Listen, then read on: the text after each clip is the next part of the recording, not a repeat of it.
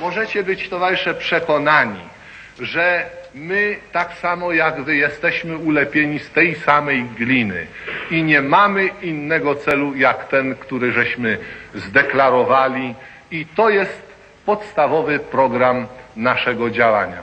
Jeśli nam pomożecie, to sądzę, że ten cel uda nam się wspólnie osiągnąć. Jak? Pomożecie?